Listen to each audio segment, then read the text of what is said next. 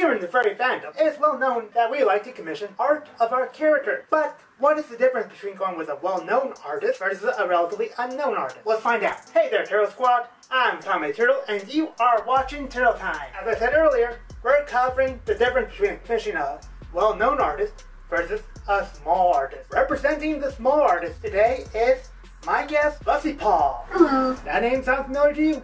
Well, she was in another one of my videos. Hang till the end to find out. And representing the well-known artist with a Twitter following of 36k on their strictly safe for work account, it is Teranen. They cannot be part of this video itself, but they did give me their answer. Alright, we'll start with something basic. Fussy, what made you decide to start taking commissions? Well, I've always really liked to draw. It's always been a really big passion of mine.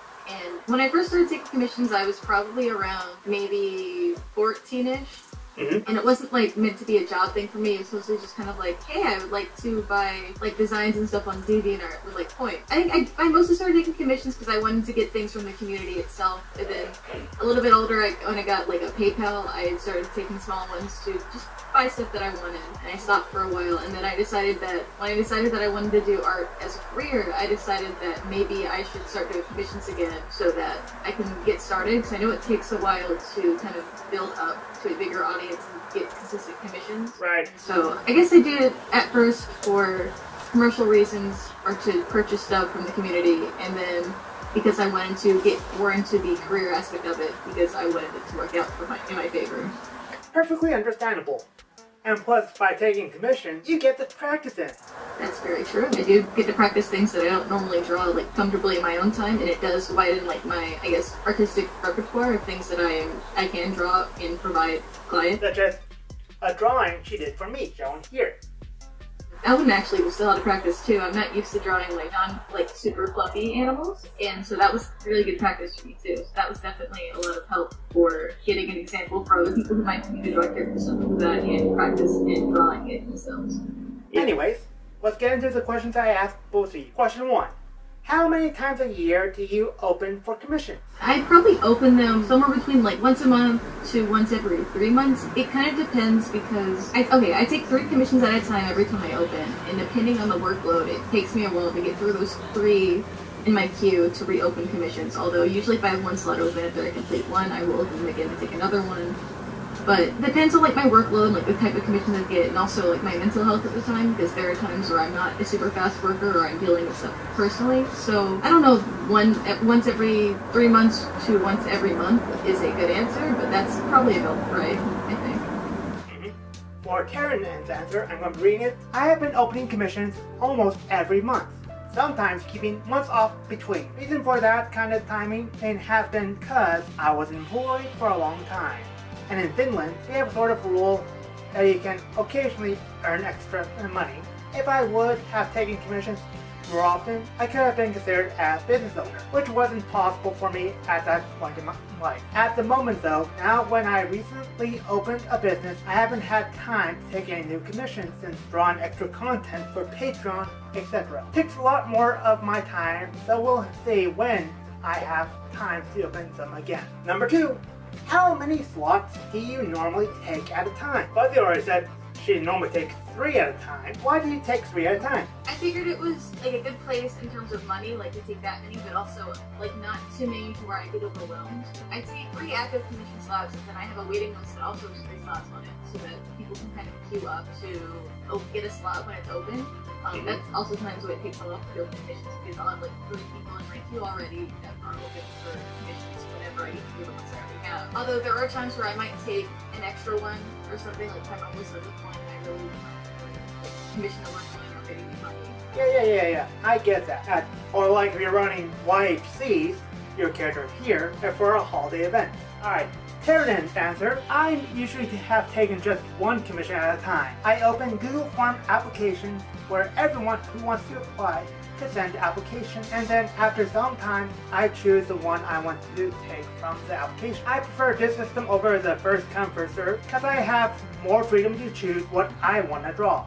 Also, I like working on just one drawing at a time, so my full focus is on it. Other thing is that I don't want to keep other customers waiting and that I finish the ones before there. I tend to stress a lot over things like that, even if customers tell me that there is no hurry. Take your time. I still keep stressing. I feel that, honestly. Some customers say, go ahead and take your time. Just keep me updated. Others want it right this second. Yes, very true. I do have a rush fee for um, people who want it at a deadline. Although some people even without the deadline fee, they're still kind of patient. Question number three. How many hours a day do you normally work on a piece? That is a little bit of a hard question because I'm not a super good worker or consistent worker. There's sometimes where I will go a couple days without drawing at all, and there are some days where I will go several days just working all day. Um, so I guess on days where I'm in a very worky kind of mood, I guess I can work from maybe anywhere from like 8 to like 12 hours. Not usually on one piece. On one piece, it depends on the commission because uh, well, uh, they're charged based on like the quality and easier commissions obviously will take less time than commissions that are a lot more workload. Um, like for example, a, a bust shot, like a shaded bust shot might take like maybe three-ish hours off the top of my head, but a painted piece might take up to like two days on of like consistent working to do. Uh, I feel you on that. Teranen's answer is with commissions and my regular work, I usually spend at least two hours a day, up to six to ten hours, depending on my inspiration and energy at the time. I think that's everyone right there. If we are feeling inspired to do a task and we have the energy to rock and roll with it, we can just hunker down and keep rolling. Otherwise, we might be dragging our feet. Okay, and the fourth of the basic questions on commission process is how quick is your typical turnaround? That also depends on the type of commission. Although generally, even for smaller ones, like I said, it can take a couple days for me to actually work up to starting a drawing, mostly because I spend a while kind of thinking about what I want to do, and if I try to push myself to draw, it doesn't come out great, and I don't have like a good process doing it, and then I know that I won't put out work that is that I feel good with. I turn around anywhere from like maybe two weeks for a smaller commission, sometimes a little bit less or more, and for like larger commissions, it might take upwards of like two to four-ish months. For example, I got a commission recently on Tumblr, like a regular customer of mine, they wanted four drawings in there, like for the commission. And that took me, I think, around four or five months to complete all of them. But really depends, I guess, as well, but at least usually two weeks to maybe a month, even for smaller ones. Commissions usually take me a bit longer to make than my own work. Because first I do some possible sketches to show customers and discuss what they want before I take the payment. They keep asking me a from a customer between each, each drawing step, lining and flat color. If they are happy how it currently looks or if they would like me to change something. Because time zones and stuff, so I might need to wait for the reply before I can keep working. But in general, Commissions works take me three full working days to max two weeks. Again, just depending on my inspiration slash energy, and if I have stuff to do outside of computer work. So Teranen has a relatively quick turnaround, but with life and everything, it might take a bit longer than two weeks for her. Now for a what if piece. This is a piece off the top of my head. The piece is a jumping pose like in High School Musical with six characters. Three standard species characters like wolves, big cat, protogens, and three uncommon species like octopus, turtles, and birds in general. For this, there's three questions. First question is, would you take the piece I presented to you? I think I would. Like, I obviously have like a TOS for like I, stuff I will draw stuff I won't draw, and as far as I can tell, none of that really violates any of that, so I, I'd be willing to take it, and if I'm not super well versed in it, I will practice until I find something that I'm comfortable with giving. Teranen's answer is typically that is a type of commission I wouldn't take no matter what species are, since I prefer to do one or two character pieces. Six character piece would be really overwhelming for my skills, even more so with the kind of action type pose that I'm not so used to draw. Now, most people tend to have a character pose in a set way that they're just used to drawing. Mm-hmm. So action poses like jumps, and it's outside of most artists will have. I, yeah, I could understand that. I'm definitely like I wouldn't be. I definitely haven't practiced poses like that, but I know that if I were to not take it, I would never get better at it. I would take it even if I did not think I'd be good at it because I would get some practice in, and I would make sure the client liked it anyway. I take revisions and stuff to make it as they, they please.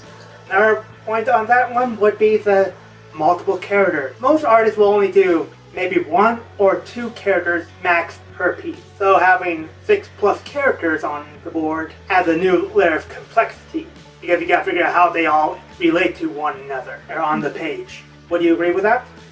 I agree with that. That definitely makes sense. It can be hard to make like all the characters look like they're a part of a piece or like their own separate drawings. And definitely understand not wanting to take commission with bigger characters. It would be hard to make them all look organic in a sense. Number two on the board is how much would you charge for the piece I described and why that amount? It would depend on a couple of factors. Like, for example, would you want the characters to be shaded or like black color, or etc. And also how you would want the background to look. Like, if you would want something fully fleshed out, with maybe a little bit of a background or just no detailed background at all. Let's go ahead and shoot for the moon on this one. So fully shaded uh, with like a complex background. Mhm. Okay, it'd be around two hundred and twenty dollars. I do have a small fee depending on like how complex characters are that may add five to ten dollars for like depending on complexity of a character. Like if it is a super detailed design or like a character that might be hard for me to draw. If I had to guess, two hundred and twenty to maybe at most around two hundred and let's say sixty ish. Interesting. So, approximately $300, there's give or take, for the piece I described. Uh, yeah, pretty much. Teranen's answer for how much they would charge for this.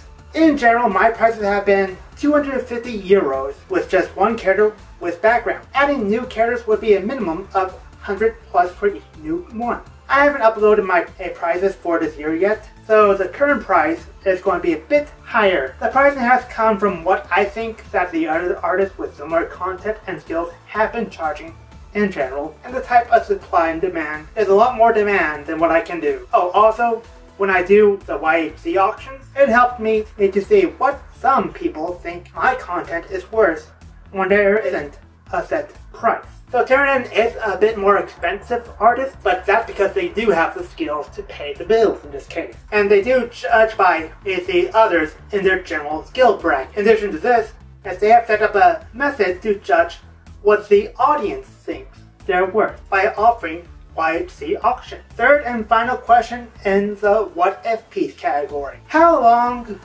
would you think it should take you to do this piece ideally? considering like I don't have any major life changes or I don't have a lot like really like bad things going on or something I need to have my attention on and I'm maybe having a good time working like I'm not super unmotivated or have art block it would probably take I want to say somewhere between like two months to probably four months So, a little under half a year, Yeah. if all the stars align perfectly.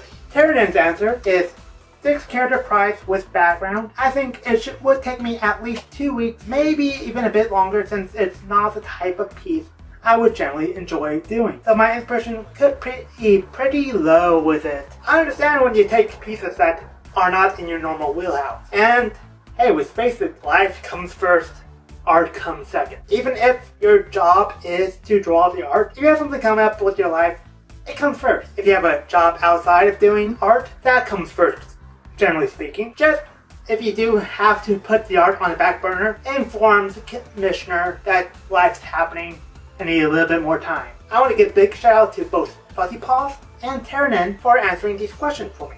As promised, Fussy Paws, as was actually in another one of my videos, a joke corner linked in the card above and description below. And if Teranen sounded familiar to you, well, both Fussy Paws and Terranen made it onto my top 10 furry artist list, pinned in the comments below. Be sure to check out later and see some more amazing artists. Links to both Fussy Paw and Teranen's Twitter are in the description below, as well as mine.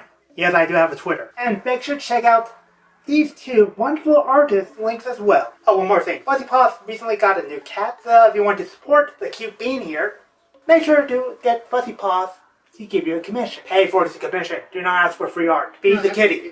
And if you liked what you saw and want more of my content, subscribe to my channel if you haven't already. Hit that bell for notifications when my next video airs. Leave a like, or maybe a comment. Share with friends, family, other furry friends you might know, or people who just like cat pictures. And I hope to see you all next time. Bye bye. Johnny!